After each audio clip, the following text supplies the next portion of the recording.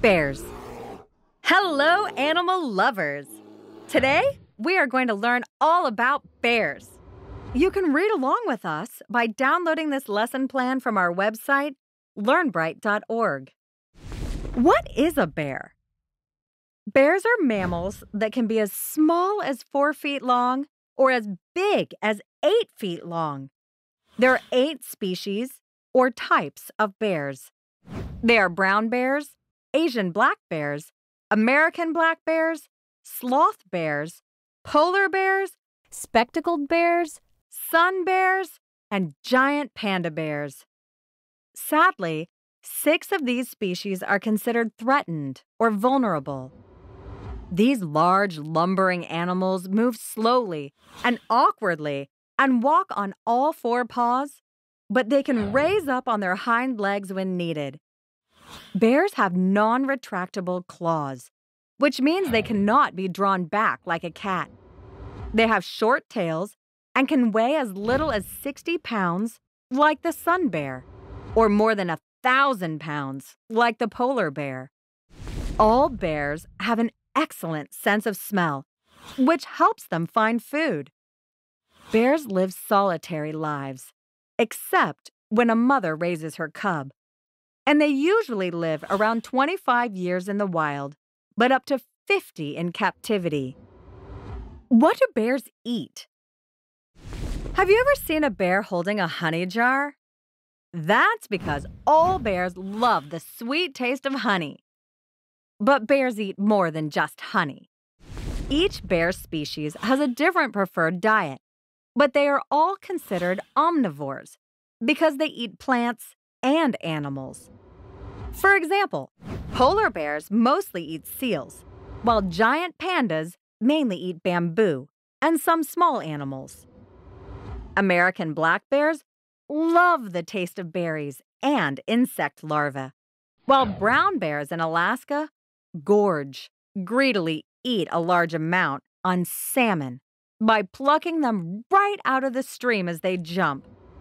And sloth bears are super fast eaters, even though they are called sloths, which means lazy. They can tear a hole in a termite mound and inhale a whole meal in seconds. Some days, you might feel as hungry as a bear.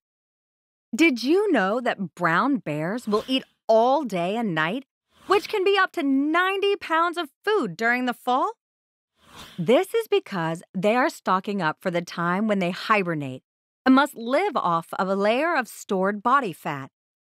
Once the bear has eaten enough and the cold comes, it will waddle into a den and hibernate.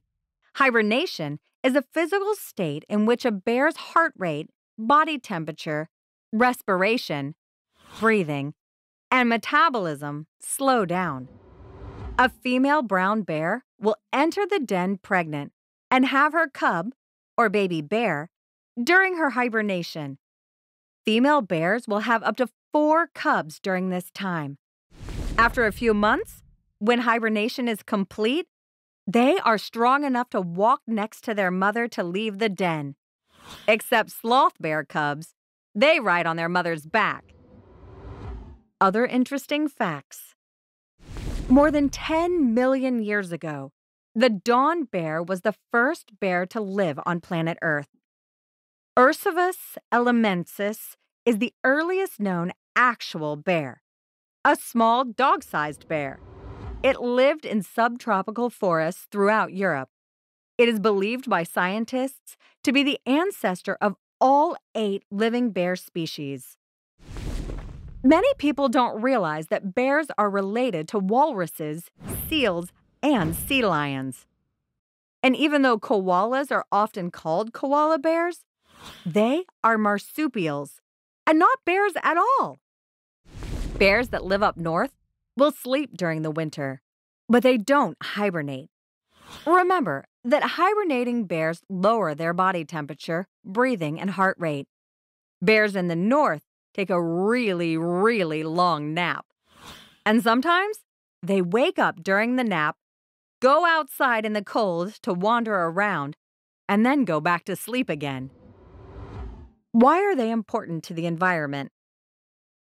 Bears are ecosystem engineers, which means they have the power to change their environment. For example, when they forage for food, bears spread plant and berry seeds that hold on to their fur and come out in their droppings. They are also essential links in the food web. As predators, bears help maintain populations of deer and other prey, like salmon. Bears are impacted the most by habitat loss from growing human populations. Losing their land means they have less area to hunt and more chance to run into humans. And when bears come into contact with humans, sometimes there are serious conflicts.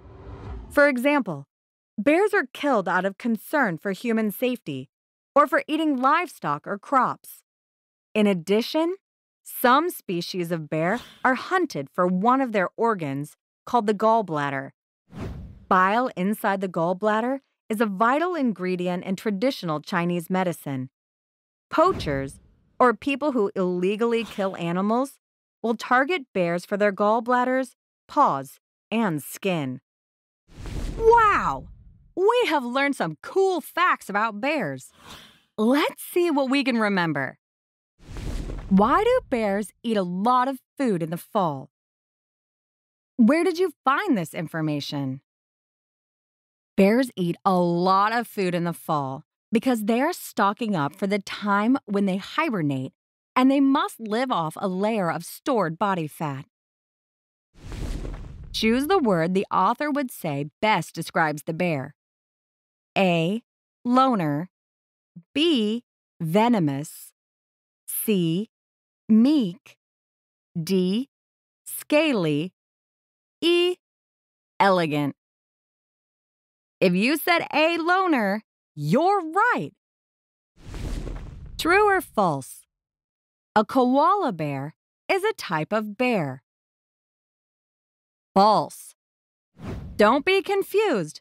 Remember, koala bears are actually marsupials and not bears at all. Excellent work, bear experts. Remember, if you like this lesson, you can find it and other cool lesson plans on our website, learnbright.org. Hope you had fun learning with us.